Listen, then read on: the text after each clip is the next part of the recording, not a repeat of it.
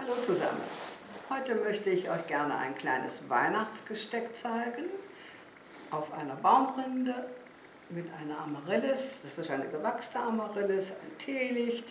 Dazu braucht man dann ein bisschen Moos, Zapfen, einen schönen vergrünten Zweig, ein paar Blätter, ein bisschen Früchte, Kiefernadeln, auch ein, ein Kiefernzweig habe ich noch da und ein bisschen Bucheckernzweige oder Ästfrüchte. Ähm, Teelicht habe ich schon gesagt. Ich glaube, das war's.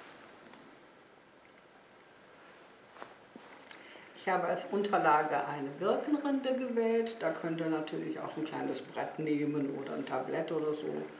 Also das ist egal, es geht nur um die Unterlage. Dann habe ich hier drei kleinere Rindenstücke, die ich dann so ineinander schiebe auf diesem auf dieser Birkenrinde. Eine durchgehende Rinde wäre natürlich besser, wenn ihr da was findet, sieht das natürlich besser aus.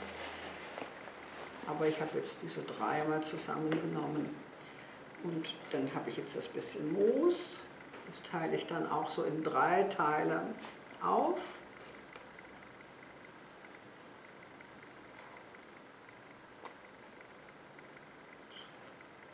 Und dann habe ich diese Amaryllis, die ist gewachsen, dann braucht die auch nicht so viel Wasser. Das ist ganz vorteilhaft, weil wir da ja nicht so viel äh, mit Wasser kleckern können, sonst läuft der Tisch voll.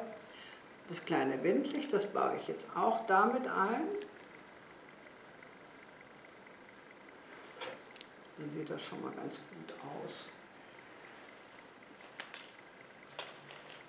Dann habe ich hier so einen schönen Ast, der ist ein bisschen bemoost klemme ich da so mit ein, so dass das Windlicht natürlich frei ist, dass da kein Zweig in das Licht reinragt.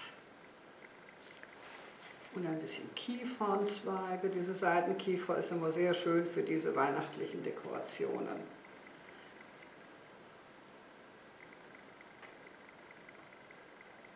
Den schiebe ich hier so durch, dass die Zweige, die Seitentriebe auch ein bisschen darüber ranken und die Amaryllis ein bisschen umspielen.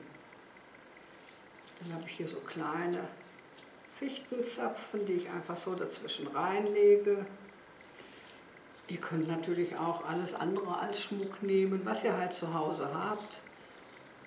Da können auch ein paar Glaskugeln rein. Aber ich möchte es jetzt nur so ganz natürlich lassen.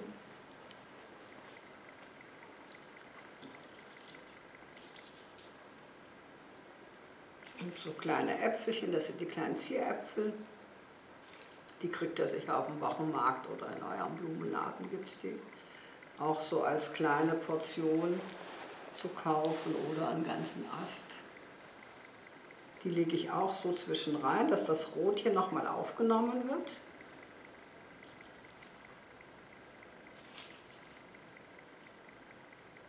Und auch diese Buchecker Fruchtstände.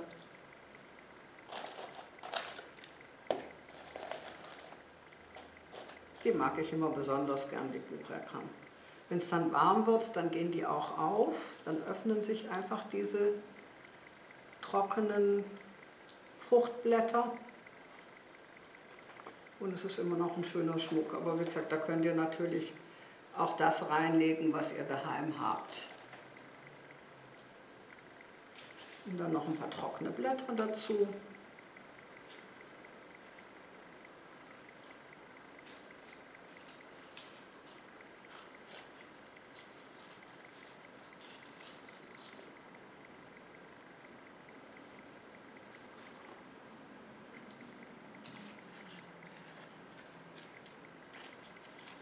Ein trockenes Blatt, das ist immer sehr schön in so einem Arrangement, weil es dann doch ein bisschen Herbst zeigt und ein bisschen Winter. Die beschneiten Zapfen hier, die zeigen uns den Winter schon ein bisschen im Voraus an. Und jetzt stecke ich noch ein paar Kiefernadeln dazu, so ein paar lange. Die bringen noch ein bisschen Eleganz rein. Aber immer schauen, dass das Glas mit der Kerze immer frei steht, dass da also nichts anbrennen kann. Das ist immer sehr gefährlich, mit frischen Kerzen zu arbeiten.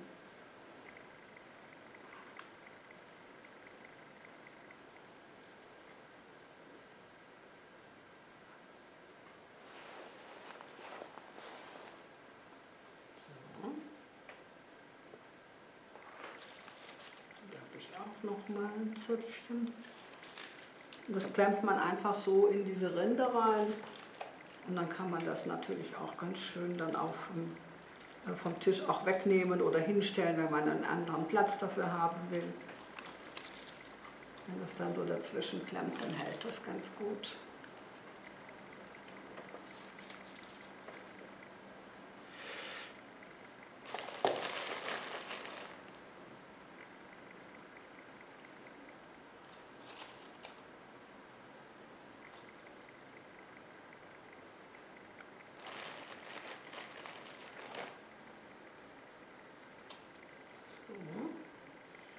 Jetzt haben wir unseren weihnachtlichen Schmuck schon ganz schön gefüllt.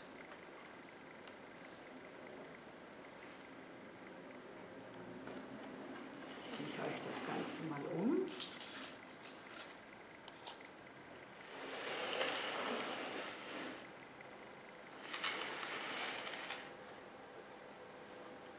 So könnt ihr das gut anschauen.